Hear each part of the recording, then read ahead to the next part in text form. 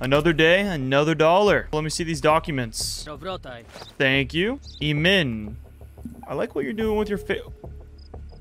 Step out of the vehicle. Something's not matching up. You hiding anything, Emin? I smell it. I know you're hiding something, all right? Oh, God, in the tires, too? What do you have to say? How much are you offering? 680? You know, Emin, you're going to jail. I'm not taking your money. You think I would just change everything? Behind the bumper, thinking I'm a rookie. In the tires.